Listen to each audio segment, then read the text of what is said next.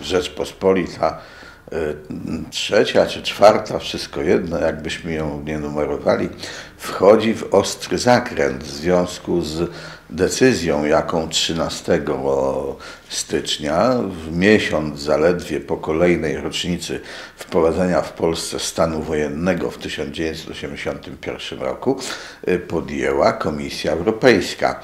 Y, Komisja Europejska, zgodnie z zapowiedziami wcześniejszymi, y, podjęła mianowicie bezprecedensową, bo jak dotąd nie było takiego precedensu, decyzję o uruchomieniu procedury sprawdzania stanu praworządności w Polsce.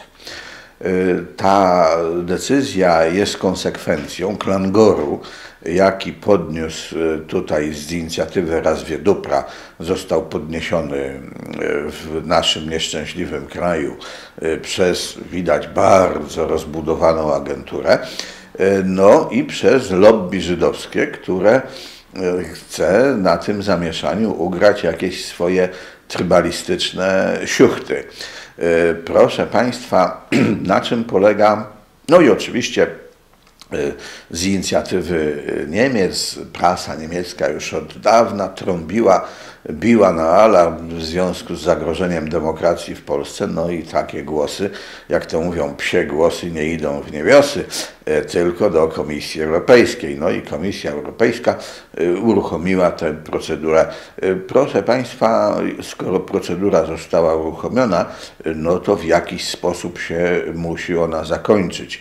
I to zakończenie zależy od tego, jak, jak, czy rację ma Frankfurter Allgemeine Zeitung, twierdząc, że Unia Europejska tylko szczeka, ale nie gryzie, y, czy też nie ma racji ta frankfurcka gazeta, że i okaże się, że Unia Europejska nie tylko szczeka, ale w razie potrzeby potrafi również ukąsić.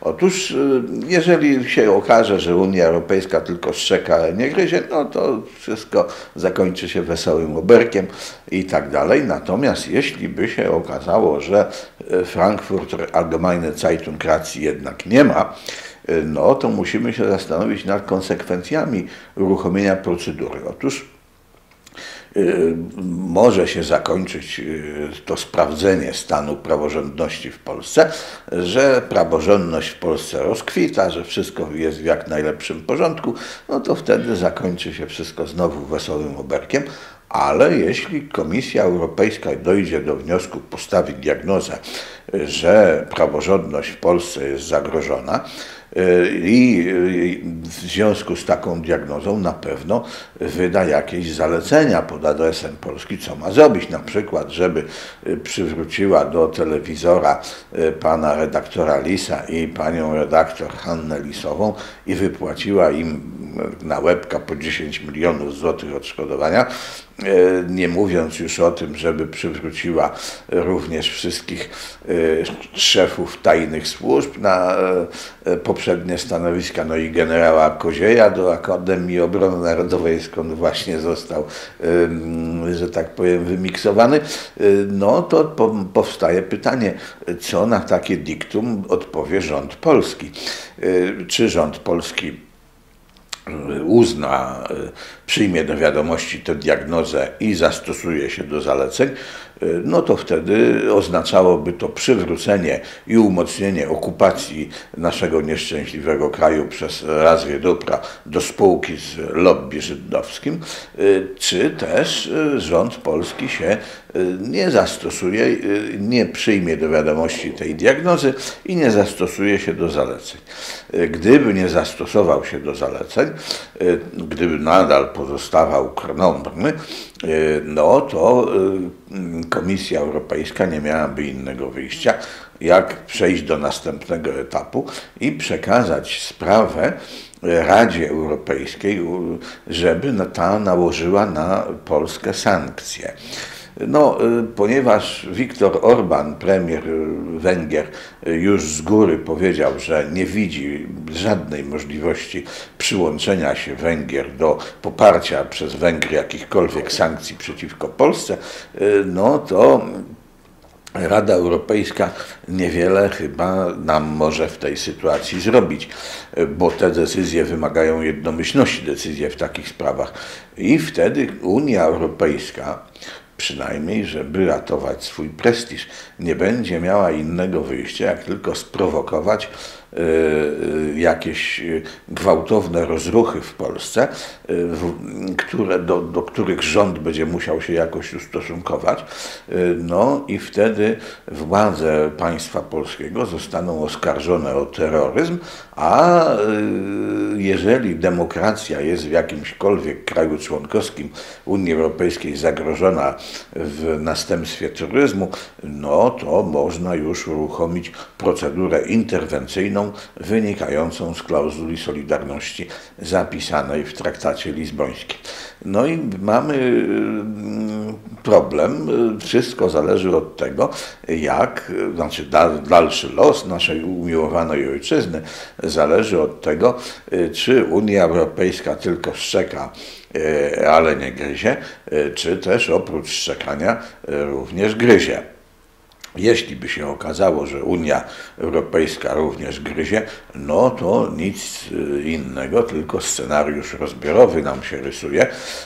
Warto na, na tle tego wszystkiego podkreślić, że oto y, spełnia, ciałem się staje to, co mówiłem, że na skutek y, w rezultacie koordynacji dwóch polityk historycznych niemieckiej i żydowskiej doszło do specyficznego ułożenia stosunków niemiecko-żydowskich na podobieństwo stosunków między Niemcami i policją żydowską w getcie. E, otóż, jak Państwo pamiętacie albo wiecie z historycznych przekazów, e, Niemcy używali policji żydowskiej w gettach do brudnej roboty, do katowania, pałowania, wybiórki, do pociągów zaganiania e, Żydów, no a sami stali i najwyżej się przyglądali co najwyżej zachęcali żydowskich policjantów do większej gorliwości. I proszę Państwa, mam takie nieodparte wrażenie, że obecnie e, Niemcy w taki sam instrumentalny sposób wykorzystują pana redaktora Adama Michnika niczym kiedyś żydowskich policjantów w gettach. E, no i pan redaktor Michnik pozwala się w ten instrumentalny sposób wykorzystywać Oczywiście dorabia do tego ideologię, ubiera to w kostium obrony demokracji i wolności słowa, ale żydowscy policjanci w gettach też jakieś wyszukiwali sobie pozory moralnego uzasadnienia dla własnego zachowania. No i niektóre z tych pozorów nawet do dzisiaj wytrzymują próbę czasu, więc rozumiem, że pan w postępowaniu pana redaktora Adama Michnika nie ma niczego specjalnie oryginalnego. No to z jednej strony świadczy o pewnej ciągłości historycznej, jaka w stosunkach niemiecko-żydowskich żydowskich i polsko-żydowskich się utrzymuje, a z drugiej strony o tym, mm, że y, i pan redaktor Michnik wcale nie jest takim oryginałem, jakiego świat nie widział y, i za jakiego chciałby nam się przedstawiać. Y, proszę Państwa, jak wspomniałem, pan generał Koziej został właśnie zdymisjonowany ze stanowiska profesora w Akademii Obrony Narodowej. No, to jest bardzo symptomatyczne, bo pan prezydent Komorowski, znaczy były prezydent Komorowski, najwyraźniej uważał pana generała Kozieja za swojego faworyta, tytułował go siogunem nawet podczas wizyty w Japonii, e, kiedy to wszedł na fotel, żeby tam lepiej wszystko widzieć. E, no, a warto przypomnieć, że pan generał Stanisław Koziej e, został mianowany szefem Biura Bezpieczeństwa Narodowego zaledwie następnego dnia po katastrofie smoleńskiej, kiedy to rankiem następnego dnia już pan marszałek Komorowski, pełniący obowiązki prezydenta, przed, e, przekazał panu generałowi Koziejowi nominację na szefa Biura Bezpieczeństwa Narodowego. Warto w związku z tym przypomnieć, że wtedy właśnie dzięki tej nominacji e, aneks do raportu o rozwiązaniu wojskowych służb informacyjnych dostał się wreszcie w bezpieczne ręce. No i nie wiadomo, w czyich bezpiecznych rękach przebywa do dnia dzisiejszego. Być może, że pewne światło rzuci na to e, pan minister Bacierewicz, e, który zapowiedział odtajnienie zespołu zastrzeżonego, zbioru zastrzeżonego Instytutu Pamięci Narodowej. No, na tym, na tle tej zapowiedzi pana ministra Macierewicza lepiej rozumiemy inicjatywę e, byłego prezydenta naszego nieszczęśliwego kraju Lecha Wałęsy, który pośpiesznie e, pragnie zorganizować debatę na temat Bolka, dopóki jeszcze pan minister Macierewicz nie odtaił dokumentacji zbioru zastrzeżonego. Widocznie liczy na to, że Y, wszystkich przytłoczy swoim autorytetem i każdy z uczestników tej debaty powie, że Bolka nigdy nie było, a jeżeli nawet i był, no to dobrze chciał, prawda? Y, to wszystko była taka gra, tak jak zresztą pan Lech Wałęsa kiedyś w przypływie szczerości e, powiedział, że oni udawali komunę, a myśmy udawali opozycję. No więc, e, żeby tylko nie runął kolejny mit założycielski III Rzeczypospolitej, e, no i wszystkie legendy, które gwoli podtrzymania mitu założycielskiego III Rzeczypospolitej e, są pieczołowicie podtrzymywane między innymi przez lobby żydowskie w Polsce, e, które też upodabnia się do wojsk łączności ze, ze słynnego przemówienia e, pana marszałka Józefa Piłsudskiego, e, który oskarżał wojska łączności, że, że tak powiem, dają na obydwie strony. Otóż okazuje się, że Y, lobby żydowskie w Polsce nie tylko daje się wykorzystywać Niemcom w sposób podobny, w jaki była wykorzystywana żydowska policja w gettach, ale również daje się wykorzystywać soldatesce. No, widać wyraźnie, że każdy musi mieć swojego Żyda, tak jak to było w średniowieczu, kiedy to pewien niemiecki książę z,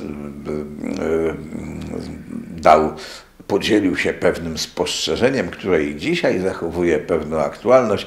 Powiedział mianowicie, że Żydzi są jak gąbka. Kiedy już dostatecznie nasiąkną, to my ich wyciskamy. No, zobaczymy, na razie jest czas nasiąkania. Zobaczymy, kiedy to przyjdzie czas wyciskania. Być może, że e, w następstwie realizacji scenariusza rozbiorowego e, Żydzi mogą się bardzo e, rozczarować, e, ponieważ e, Niemcy, którzy nadal, które nadal pozostają w strategicznym partnerstwie z Rosją, mogą mm, wcale nie uwzględnić żydowskich oczekiwań i pozostawić terytoria leżące nad wschód od dawnej niemieckiej granicy z 1937 roku pod wpływy rosyjskie. No tego chyba by żydowskie lobby w Polsce nie oczekiwało, bo wtedy można by było odnieść do niego jak i zresztą do całego obozu targowickiego, e, anonimowy wierszyk, e, który po drugim rozbiorze Polski był w Warszawie rozgłaszany. Zwiódł król pruski marszałków, marszałkowie posłów, a carowa rosyjska targowickich osłów.